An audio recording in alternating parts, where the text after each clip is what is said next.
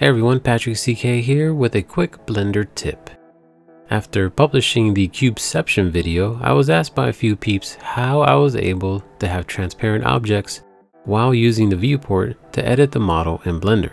That was something I grappled with when making that video. If you haven't seen the Can You Print Cubeception video, I'll leave a card linking to it. While making that video, I ran into an annoying problem. I had a complex model with several layers and I wanted to show the lower layers while working on them in the viewport without the outer layers getting in the way. I didn't want to just hide the outer layers because that would make it hard to keep your bearings with the rest of the model. I thought making the layers transparent would be the best way to do this. But at the time, the only option I thought I had was the viewport x-ray feature. The X-ray feature is great for being able to select geometry on the far side of an object without having to move your view around. Unfortunately, X-ray applies to everything in your scene, and the opacity can't be changed per object, which, to be fair, is not its purpose. That simply will not cut it. Luckily, I found a simple solution that I feel should definitely be elevated as one of the better quality of life features in Blender. Here's how it's done. With your viewport in solid mode and the material you want to make transparent selected, go to Material Properties. Scroll down the options past Preview, Surface, all of the BSDF principled values, down to the section labeled Viewport Display. Here's where the magic is. Select a color picker, and no matter which color code system you use, all three have the alpha option. Adjusting this value will change the opacity of the material. 0 for completely transparent and 1 for completely opaque. And boom, no need to mess with the shader editor nodes or lighting. And if you use the viewport render image option located under view, you can render an image with transparent faces, again without messing with nodes or lighting. This won't be your final product, but it works great in a pinch to knock out some basic renders. As you may have guessed, there are a few caveats.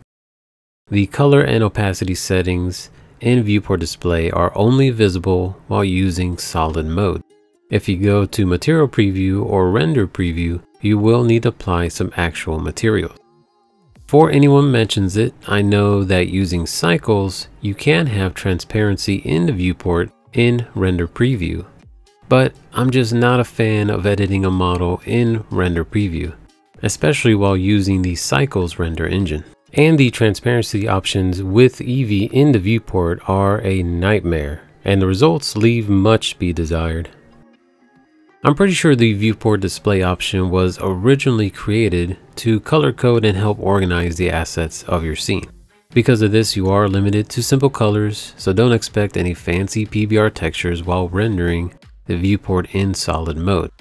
That being said, you can still mess with the viewport shading options up here and change stuff like the global lighting values, maybe even import your own MatCap to simulate an environment of your choosing you have a lot of options you can mess with. In the Cubeception video, I created three different materials with the same color, but with different alpha values. Again, this helps you keep your bearing while working on a model without having to hide components that are in the way. I'm from a civil engineering background and I feel this would be great for ArchViz for example, if you have a model or you want to make a wall or roof transparent to see the interior space or simply mimic windows, you can do that with this option. I can think of a ton of scenarios where this would be immensely helpful. Just remember this is only for the solid viewport mode. You will need to get into the real material system to get anything more than simple colors. I do go over the very basics of setting up PBR textures and materials using the node system in my series about learning Blender. Anyway, I really love this feature and I hope you find it as useful as I do. If you do, please leave a like and share so others can find this content in the future. Until next time, this has been Patrick CK. Goodbye.